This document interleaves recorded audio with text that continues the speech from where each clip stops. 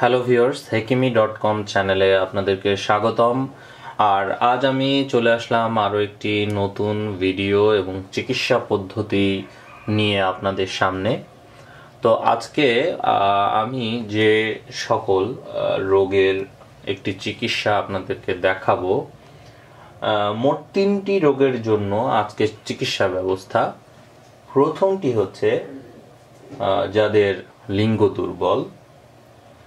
দ্বিতীয়টা হচ্ছে সহবাসের সময় যারা কম পান এবং তৃতীয়টি হচ্ছে যাদের বীর্যের ঘনত্ব কম। এই তিন ধরনের রোগের জন্য মূলত আজকের চিকিৎসা পদ্ধতি। তো আপনারা জানেন যে আমরা সবসময় বিভিন্ন রোগের চিকিৎসা বনজি যে ঔষধি যেসব গাছগাছরা আছে সেগুলোর মাধ্যমে দিয়ে থাকি। এবং আপনাদেরকে দেখিয়ে থাকি যে এই ওষুধগুলো আসলে কি কি দিয়ে কি পরিমাণ দিতে হয় হ্যাঁ কতটুকু কি দিয়ে এই ওষুধগুলো তৈরি করতে হয়, সেই জিনিসগুলো আপনাদেরকে দেখিয়ে দিই। আর আপনারা যারা এই ওষুধগুলো তৈরি করতে পারবেন, তারা তো অবশ্যই এই জিনিসগুলো সংগ্রহ করে আপনারা তৈরি করে নিতে পারেন নিজেরা। আর যারা এগুলো করতে পারবেন না, যারা দেশের বাইরে আছেন বা এমন জায়গায় আছেন, ঢাকাতে আছেন, যাদের জন্য এই জিনিসগুলো সংগ্রহ করে ওষুধ তৈরি করা সম্ভব না, তারা অবশ্যই আমাদের স্ক্রিনে দেখানোর নাম্বারটিতে যোগাযোগ করবেন। গোপন রোগের যে কোনো চিকিৎসা আপনি আমাদের কাছে পাবেন। আমাদের স্ক্রিনে দেখানোর নাম্বারটিতে ফোন করে যোগাযোগ করবেন। তো চলুন আর কথা না বাড়িয়ে আজকের চিকিৎসা পদ্ধতির জন্য যেসব জিনিসপত্র প্রয়োজন সেগুলো কি কি এবং কীভাবে এটি তৈরি করবেন দেখে নেওয়া যাক।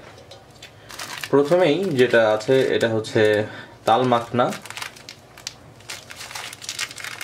তাল মাখনা এই যে প্রথমে তাল মাখনা। আর তাল মাখনার পরে আমাদের যেটা আছে সেটা হচ্ছে ইসুপ গুলদানা। তো তাল মাখনা হচ্ছে আহ, পঁচিশ গ্রাম। আর ইসুপগুল দানাটা হচ্ছে পঞ্চাশ গ্রাম। আর এরপরে আছে হচ্ছে কথিলা। কথিলাটা হচ্ছে আমাদের আছে পঞ্চাশ গ্রাম। আর এরপরে বাবলা আঠা। বাবলা আঠা বলে এটাকে। বাবলা আঠাটা আপনাদের হচ্ছে, আছে পঞ্চাশ গ্রাম। আর এটা হচ্ছে শিমুল মূল পাউডার শিমুল মূল পাউডারটা হচ্ছে পঞ্চাশ গ্রাম। এই মোট হচ্ছে পাঁচটি উপাদান। আমি আবারও উপাদানগুলো বলে দিচ্ছি এবং সাথে পরিমাণও বলে দিচ্ছি। ইসুপকুল দানা পঁচিশ গ্রাম। এটা হচ্ছে তাল মাখনা আমি ভুল বলছি। আহ, তাল মাখনা হচ্ছে পঁচিশ পঁচিশ গ্রাম। তো আমরা উপকরণগুলো দেখে নিই। উপকরণগুলো হচ্ছে আহ, তাল মাখনা পঁচিশ গ্রাম। ইসুপগুল দানা, ইসুপগুল দানাটা হচ্ছে পঞ্চাশ গ্রাম, বাবলা আঠা পঞ্চাশ গ্রাম এটা হচ্ছে শিমুল মূল শিমুল মূল হচ্ছে পঞ্চাশ গ্রাম, এবং এটা হচ্ছে কথিলা কথিলা হচ্ছে পঞ্চাশ গ্রাম। এই মোট পাঁচটি উপাদান। এই পাঁচটি উপাদান দিয়ে আমরা আজকে তৈরি করব আমাদের তিনটি রোগের ঔষধ, লিঙ্গ দুর্বল, সহবাসের সময় কম বীর্য যাদের ঘনত্ব কম বা বীর্য পাতলা তাদের জন্য। তো প্রথমেই আমি কথিলাটা দিয়ে দিচ্ছি। এই জিনিসগুলো আসলে অরিজিনাল খুঁজে পাওয়াটাই একটু কঠিন। তো যারা নিজেরা তৈরি করতে চান কিন্তু পাচ্ছেন না খুঁজে, তারা চাইলে আমাদের কাছ থেকে এই জিনিসগুলো সংগ্রহ করতে পারেন, অথবা চাইলে আপনারা সরাসরি ওষুধও সংগ্রহ করতে পারেন। যদি মনে করেন যে আপনার জন্য এই ঝামেলাগুলো করা সম্ভব নয়। এখানে যে পরিমাণ তৈরি হবে, এতে আপনাদের পনেরো দিন চলে যাবে আজকে যে উপাদানটা তৈরি করছি। আর সবসময় আমরা পরিমাণে অল্প দেখাই এর জন্য যে অল্প পরিমাণ তৈরি করার পরে আপনি দ্রুত খেয়ে ফেলতে পারবেন। না হলে এটা রেখে দেওয়া আবার হয়তো সমস্যা, কারণ রেখে দিতে গেলে আপনি যখন দীর্ঘদিন রাখতে যাবেন, তখন এগুলো নষ্ট হয়ে যাওয়ার সম্ভাবনা থাকে। যেহেতু এর মধ্যে কোনো ধরনের কেমিক্যাল ব্যবহার করা হয় না, তাই এগুলো সংরক্ষণ করাটাও সমস্যা। কিন্তু এগুলো মাসখানিক আপনি রাখতে পারবেন। আর এটা আজকে যে পরিমাণটা, এটা পনেরো থেকে বিশ দিনের মধ্যে আপনার শেষ হয়ে যাবে। আপনি একজন যদি খান।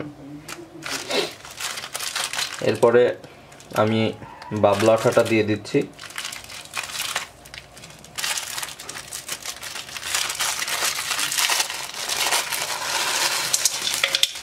ডাবল আটাটা দিয়ে দিলাম।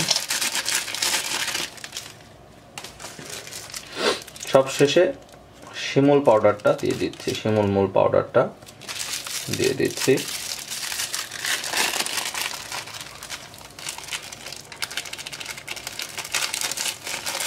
এই শিমুল মূল পাউডারটা দিয়ে দিলাম।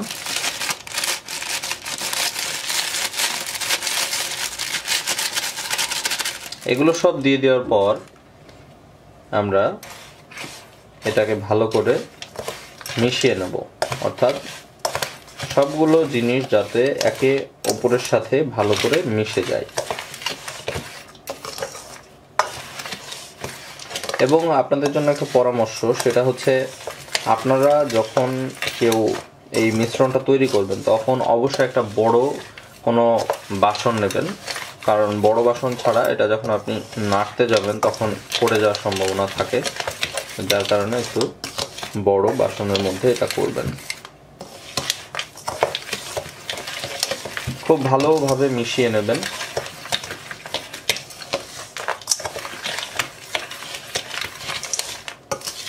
আমার মেশানোটা হয়ে গেছে। ভালোভাবে মেশানোর পর আপনারা যেটা করবেন, সেটা হচ্ছে এর মধ্যে খাঁটি মধু। অবশ্যই মধু খাঁটি হতে হবে এবং যে গাছগাছরাগুলার গুঁড়া আমরা দিলাম, সেগুলা কিন্তু অবশ্যই অরিজিনাল হতে হবে।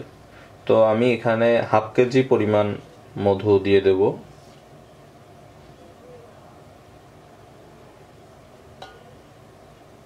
মধু দেওয়ার ক্ষেত্রে কোনো রকমই কার্পণ্যতা করা যাবে না এবং মধুটা অবশ্যই খাঁটি হতে হবে।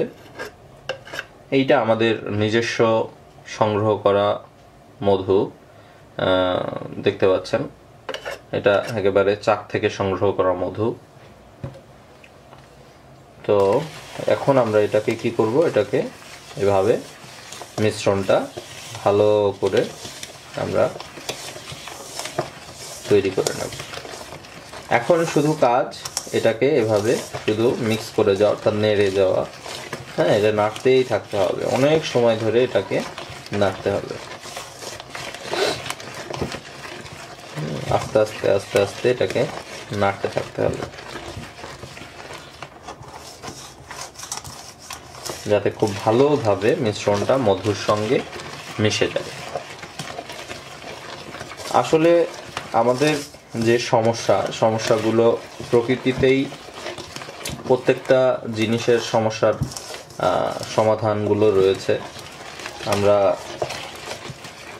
বর্তমানে ওষুধপত্র, কেমিক্যাল এইগুলোর মধ্যে না গিয়ে যদি আমরা এই চিকিৎসা পদ্ধতির মধ্যে থাকি বনজি ওষুধি চিকিৎসার মধ্যে, তাহলে এগুলোর পার্শ্ব প্রতিক্রিয়াও থাকে না।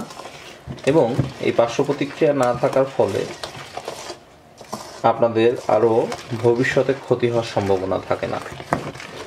তো যার জন্য সবসময় চেষ্টা করবেন যে পার্শ্ব প্রতিক্রিয়া নেই এবং এই বনজি ওষুধগুলো ব্যবহার করার। তো যারা এই জিনিসগুলা নিজেরা সংগ্রহ করে তৈরি করতে চান, তারা চাইলে আমাদের কাছ থেকে এই জিনিসগুলো কিনে নিয়ে নিজেরা করতে পারেন। আর যদি মনে করেন যে, না, আমার এত ঝামেলা করার মতো নেই, তাহলে অবশ্যই স্ক্রিনে দেখানোর নাম্বারটিতে আমাদের সাথে যোগাযোগ করতে পারেন আপনার শারীরিক যে কোনো সমস্যার জন্য। ইনশাল্লাহ আমরা এভাবে বনজি ওষুধের মাধ্যমে আপনাদের ট্রিটমেন্টগুলো দিতে সক্ষম হব। তো এইটাই হয়ে আসছে। তবে এর মধ্যে বাবলা আঠা দেওয়া আছে, যার কারণে আমাদেরকে মিশ্রণটা আরও একটু এটাকে আরেকটু আমাদেরকে সময় নিয়ে এটাকে এভাবে মিশ্রণ করে যেতে হবে। হুম, একটু বেশি সময় ধরে, কারণ এর মধ্যে বাবলা আঠাটা দেওয়ার জন্য একটু সময়টা বেশি লাগবে।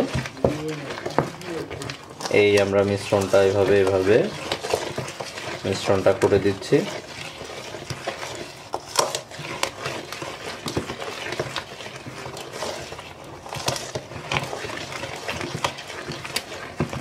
ব্যাস, আমাদের এই মিশ্রণটা হয়ে গেল।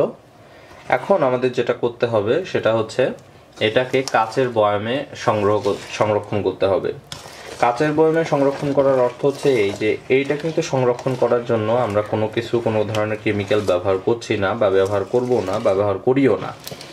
তো যার কারণে আপনাদেরকে এটা কাচের বয়ামে সংর- সংরক্ষণ করতে হবে এবং যে পরিমাণ আমরা দেখালাম একজনের জন্য এক মাস এটা ব্যবহার করা পসিবল হবে। আর এক মাস এটা খুব ভালোভাবেই ভালো থাকবে। আপনারা খুব সহজে এটা সুন্দরভাবে রেখে দিতে পারবেন। এবার খাওয়ার নিয়মটা বলি।